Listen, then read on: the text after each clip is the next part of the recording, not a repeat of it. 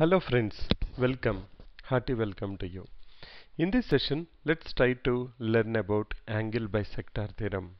First, let's understand what is angle bisector theorem. Then, we will see how to leverage basic proportionality theorem to derive this particular proof. The angle bisector theorem states that the angular bisector of a triangle divides the opposite side in the ratio of the sides containing the angle. So to understand that let's consider the triangle what we have here. We have a triangle ABC and we see that AD is the angular bisector of angle A or angle BAC. So by that we know that angle 1 is equal to angle 2. So what we have to prove? We have to prove that BC is divided in the ratio of BA is to AC or can I say BD by DC is equal to BA by AC. This is what we have to prove. So let's first write down what is given to us. What is given to us? Let me write it down. We have been given that given that angle 1 is equal to angle 2 we have to prove to prove we have to prove that BD divided by DC is equal to AB divided by AC we have to prove that BD divided by DC is equal to BA divided by AC or AB divided by AC. This is what we have to prove. So this is what is given to us, to us. We have to prove this. Okay. Now the idea is to leverage the basic proportionality theorem. What basic proportionality theorem tells? Basic proportionality theorem says that if a line is drawn parallel to one side of a triangle, if a line is drawn parallel to one side of a triangle, then that line divides the other two sides in the same ratio. That means I need to have parallel lines. If I have parallel lines, then only I can go ahead with the basic proportionality theorem. And we don't see any parallel line, so I will do one thing. I will try to create a parallel line through C parallel to AD so that I will create another new triangle and in that triangle I'll have two parallel lines then I will see how I can leverage the basic proportionality theorem there. So let's do that construction part. Okay, so what I have done now is just now I created a line parallel to AD. I have created a line parallel to AD and that intersects the extension of A at a point E. So we have now a line CE which is parallel to AD. So let me write it down. So we'll say here construction. What is the construction we have done? Construction. We have just created a line AD we have created a line CE such that it is parallel to CE. We have done that. Okay. Now let's try to leverage the basic proportionality theorem. What is the triangle we are talking about now? We are talking about triangle BCE. We will say that in triangle BCE, AD are is a line which is parallel to CE and CE is a side of the triangle. So according to basic proportionality theorem, AD should divide the remaining two sides BC and BE in the same ratio that that BD divided by DC is equal to BA divided by AB. Uh, sorry, I can say BA divided by AE. Okay. Now this is what we reached because we have leveraged the basic proportionality theorem. Basic proportionality theorem says that okay AD is parallel to CE that means a line is drawn parallel to one side of a triangle. So it will divide the other two sides in the same ratio. Therefore BD by DC is equal to BA by AE. Actually it's a AB or BA doesn't make any difference. BA by AE. Okay.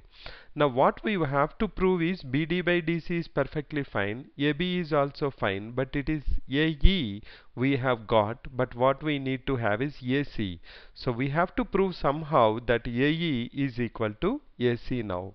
For that what we leverage? We will leverage the properties of parallel lines and let us see how we can prove that AE is equal to AC. For that I will take this angle and I will say this angle is 3 and I will say angle this angle is equal to angle 4. Now let's write down re properties related to all these angles because we have two parallel lines. The first step I will write down is AC as transversal AC as transversal AD parallel to CE gives us AC is transversal AD parallel to CE then angle 2 is equal to angle 3 why angle 2 is equal to angle 3 because they are alternate interior angles. They are alternate interior angles we know that if two lines are parallel to each other and we have a transversal then the alternate interior angles are equal. Okay. Now let's go to the next one what we can do. Now we have proven that 2 equal to 3 that is good. Let us see now what else I can prove. Okay. If you observe here we have AD AD is making an angle 1 with the transversal BE similarly the CE line is also making an angle 4 but if you consider ADCE and BE as the transversal, one should be equal to 4 because they are corresponding angles. So we'll write down the next step. We will say second step is we take BE as transversal.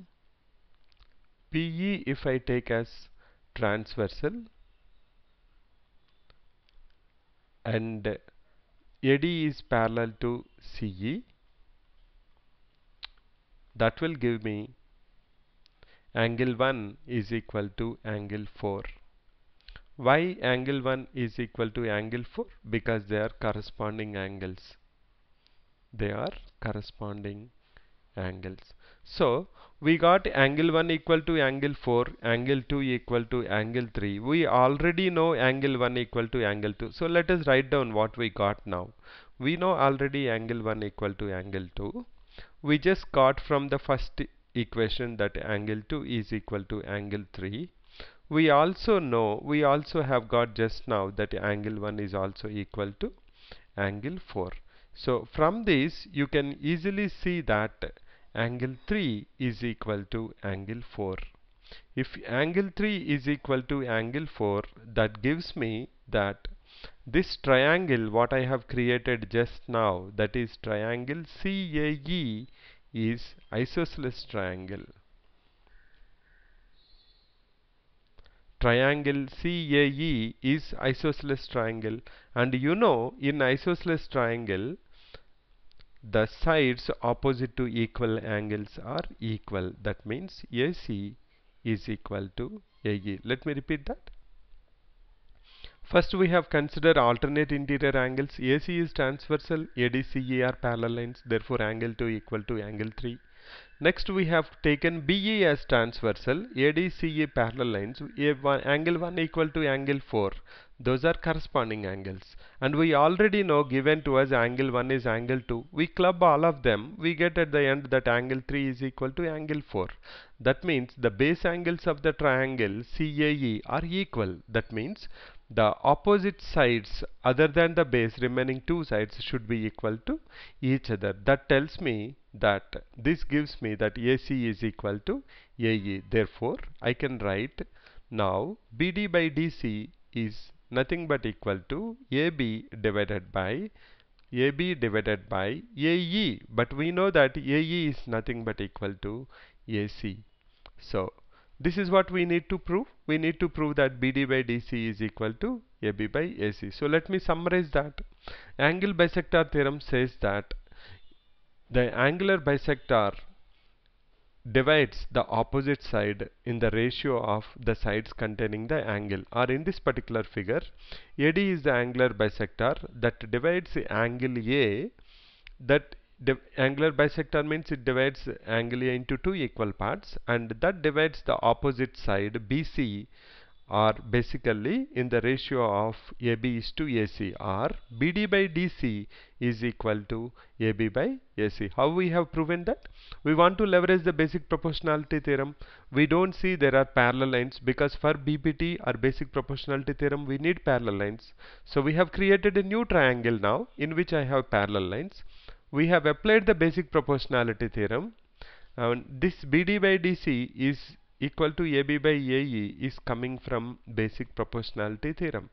If you are not aware of basic proportionality theorem, please refer to the please refer to the video on the basic proportionality theorem. It is on the same playlist geometry. Okay, right.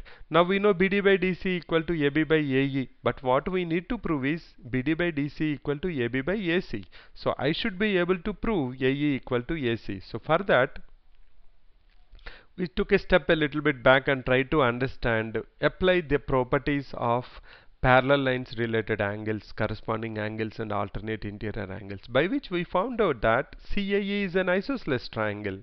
That means AC is equal to AE. So I can easily replace AE with AC and say that BD by DC equal to AB by AC. So that's a angular bisector theorem proof. So I'll catch you once again with another interesting topic as part of geometry. Thanks for your time and support.